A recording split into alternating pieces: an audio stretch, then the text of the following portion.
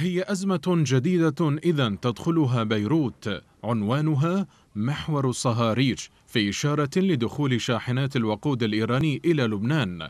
وهنا حاولت ميليشيا حزب الله الظهور بصورة المنقذ للبلاد والعباد. في حين هي نفسها المتهمة بتفاقم الأزمات في لبنان سياسيا واقتصاديا وأمنيا حيث تعالت انتقادات بين عدد كبير من اللبنانيين لدخول صهاريج الوقود الإيراني تحت مرأى الدولة الصامتة وفي غياب أي موقف رسمي سطوة جلية تجلت في هذا المشهد.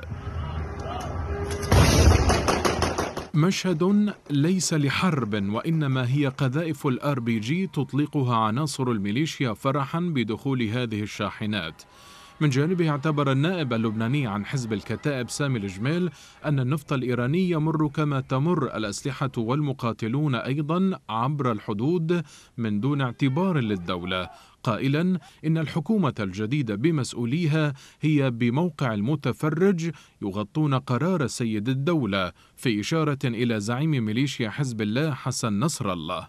ليس إنجازا هو ما قامت به ميليشيا حزب الله. هذا ما صرح به الوزير السابق أشرف ريفي قائلا إن إدخال حزب الله النفط الإيراني بطريقة غير شرعية يعني أن لبنان بات ضمن الدول الفاشلة رغم تأكيد خبراء أن كمية الوقود الداخلة تكفي لبنان لأربعة أيام وست ساعات فقط وذلك في حال توليد الكهرباء على مدار 24 ساعة.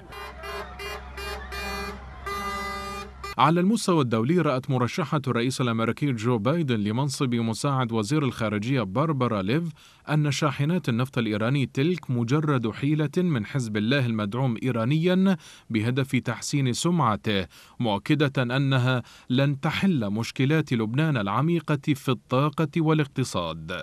وختاما ها هي لبنان تدخل أزمة تضاف لأزماتها المعقدة المتعاقبة ومن يدري ربما يسبب هذا الفعل ردة فعل دولية تتمثل بفرض عقوبات جديدة على بيروت.